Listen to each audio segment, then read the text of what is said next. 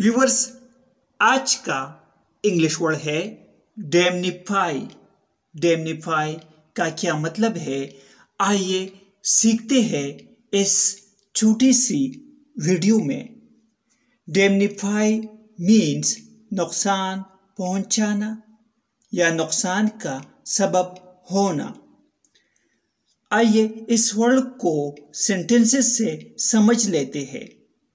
Otherwise the construction will suffer great damnify इसका मतलब है, बसूरत दीगर तामीर को बहुत नुकसान पहुंचेगा।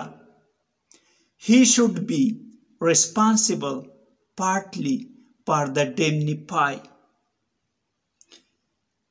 उसे इस लानत का जुजवी तौर पर जिम्मेदार होना चाहिए viewers subscribe this channel to improve your English vocabulary